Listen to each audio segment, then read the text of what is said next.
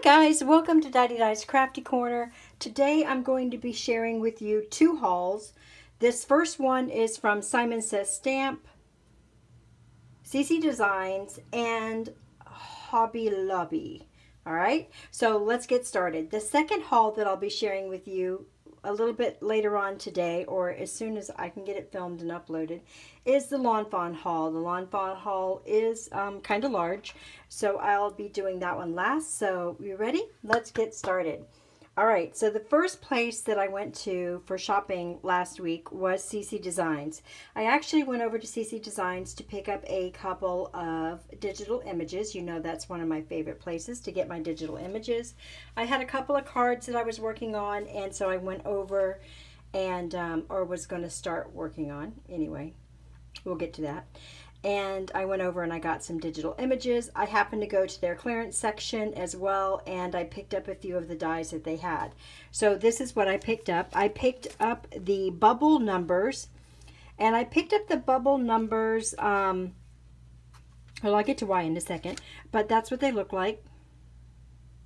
Very, very inexpensive guys. They weren't very much money. I don't remember how much they were, but well let me see if I can tell you. I don't think they were very much.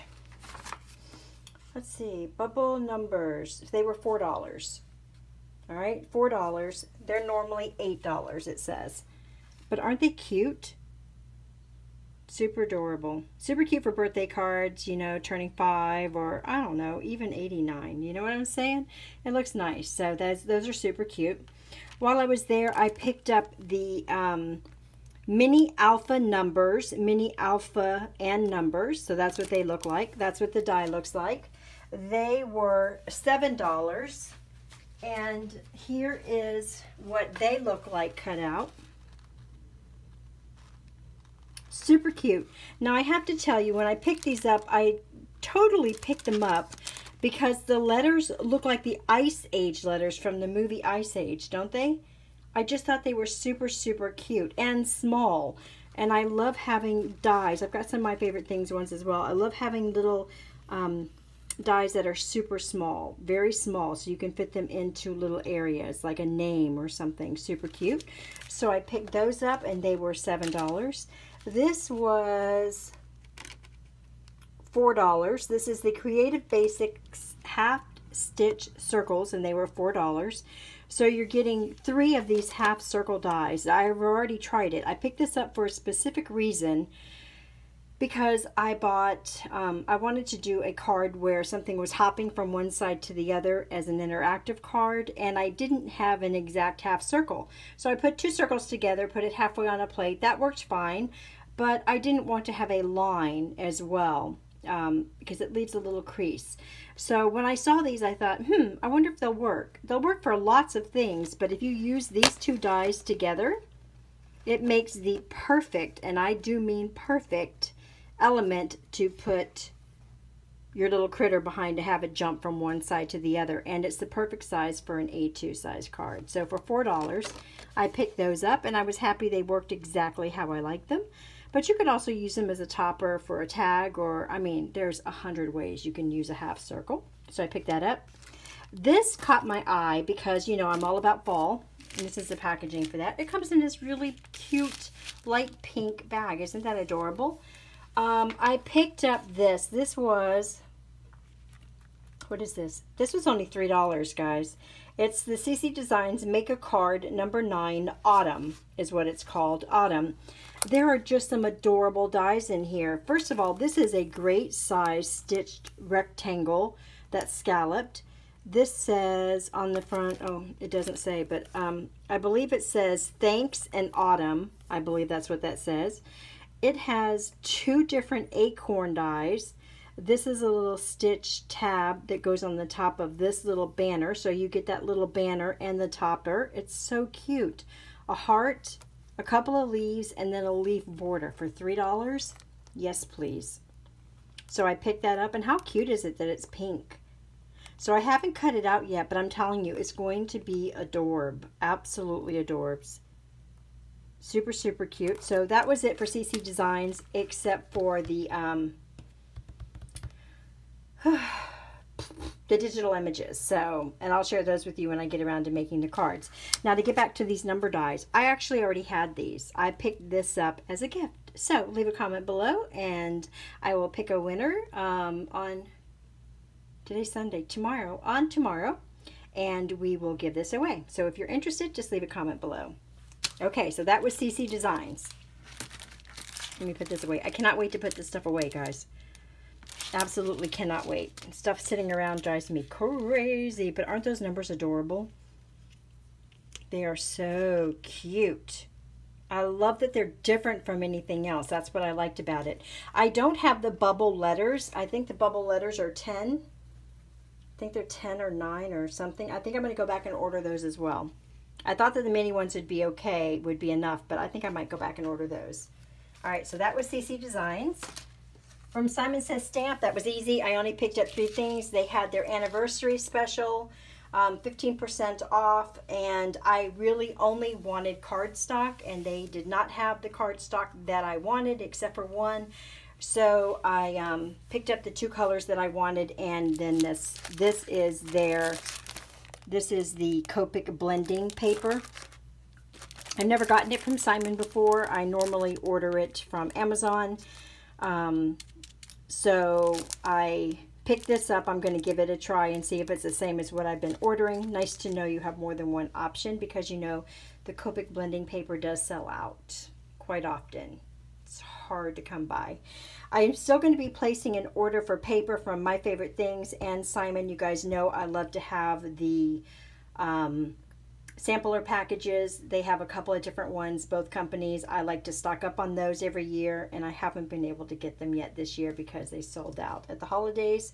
So as soon as they get back in stock, I'll be making that order, and I'll share that with you when I get it as well.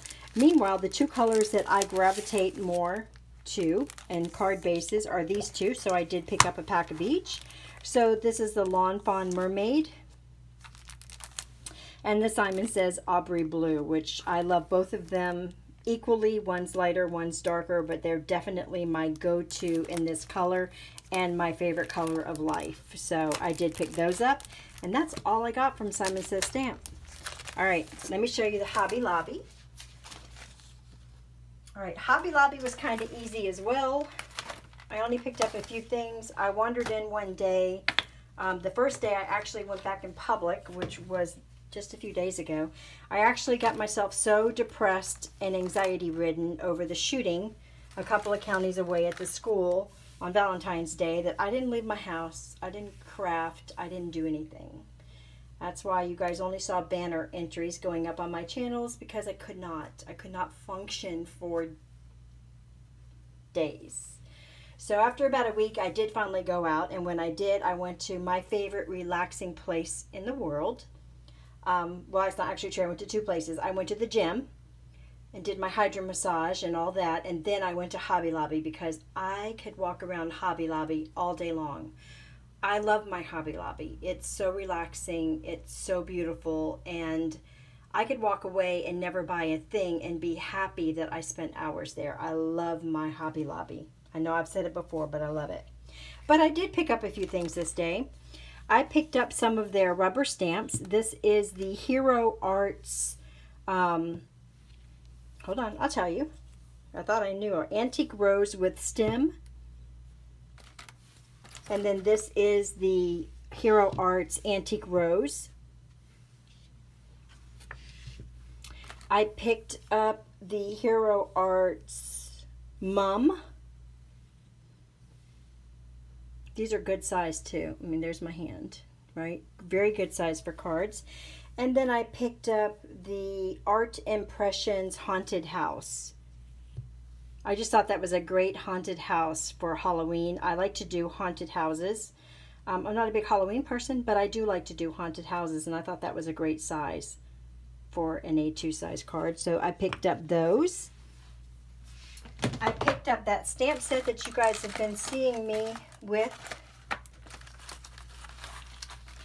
Ooh, if I can't find it. The um, Stampendous. Mm -hmm. Mm -hmm. Oh, well. Oh, well. I don't know what I did with it, guys. I had it out to put it, I had it, I took it back out.